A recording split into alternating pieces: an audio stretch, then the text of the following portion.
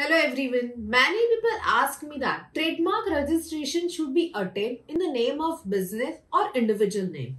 So the trademark applicants, the process of setting up for the business, making sure that the desired brand name is not taken by the time this process is completed. So it is advisable that trademark registration should be taken on the company's name.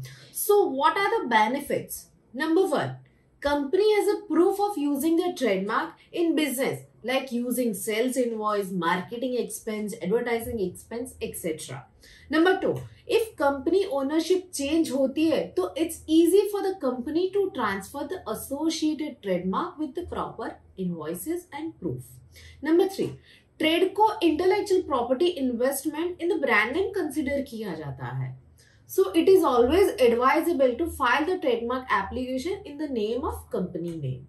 For more information and updates, kindly follow below mentioned link and subscribe.